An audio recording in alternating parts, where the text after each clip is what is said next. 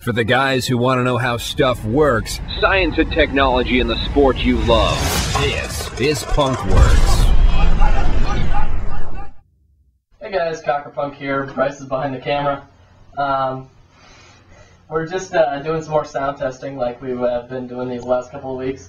Um, what we got is Bryce's new protege, very nice gun, and we are um, chronoing each barrel to about 280 feet per second, somewhere in there, just you know, an average of three, four shots uh, to make sure that we're in the same ballpark. Um, and in this test, we are looking at bore sizes. Um, so we have 9-inch control bore backs uh, by Flasc paintball, and then we're using this ported front here. It's a relatively heavily ported, I if you can see that, ported front to uh, just simulate a normal barrel like we all use. Um, shooting into just a trash can basically.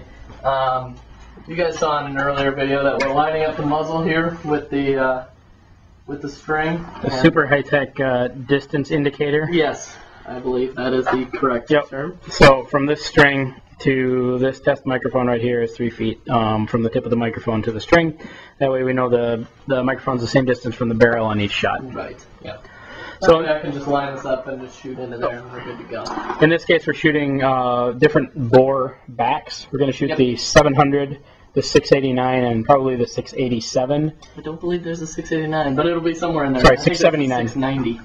679, sorry. There's a 678. 670, okay, sorry. Just look at the data. We'll shoot a small one, a medium one, and a big one. How's Yep. that? And then in the previous test, and you'll see the data for this one, we've got these barrels right here. This is a 9-inch back, Let me hold them for you. 685.